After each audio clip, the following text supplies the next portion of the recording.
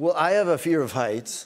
And do you? I do kind of, yeah. They set this up at the beginning of the film where I have a long, almost like, I think it's like a 10 minute oner. And I go, I'm talking to people on set, and then I go up in an elevator, and we go up 12 stories.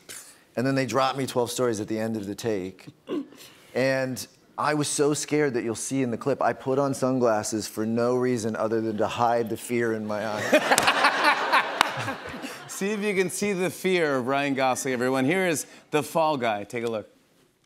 Imagine that. After this, you and I could both be on a beach somewhere in swimming costumes, drinking spicy margaritas, making bad decisions. Okay, good to go. Imagine that.